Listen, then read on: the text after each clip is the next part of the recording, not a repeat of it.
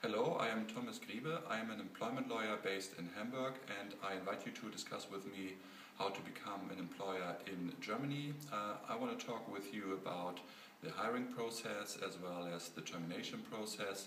We also want to talk about data protection issues, confidentiality clauses, as well as about non-compete agreements. And we also talk about data transfer to the US because this is still a hot topic in Germany.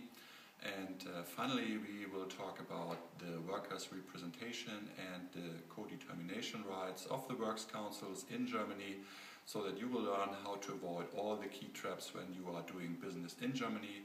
And I look very much forward seeing you all in California. Thank you very much.